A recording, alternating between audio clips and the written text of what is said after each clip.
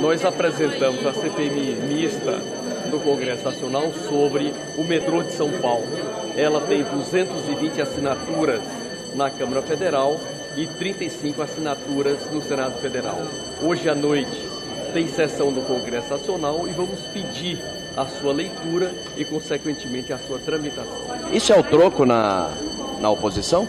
De forma alguma, nós temos um compromisso de que todas as irregularidades que tomamos conhecimento devemos investigar. No caso concreto do metrô de São Paulo, ele é feito com recursos do orçamento da União, mas principalmente com empréstimos internacionais, em que o Senado Federal aprova e em seguida a União presta a o compromisso de solidariedade. Agora, existem irregularidades em outros metrôs, metrôs, suspeitas e denúncias, por exemplo, aqui no Distrito Federal. Na proporção que elas vão chegando, você vai tomando as medidas.